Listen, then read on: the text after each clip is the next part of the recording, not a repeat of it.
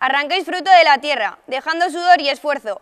Entre los surcos se quedan jirones de vuestro cuerpo. Gotas de vuestro sudor logran con orgullo ufanas llenar de gloria y honor nuestras tierras matutanas.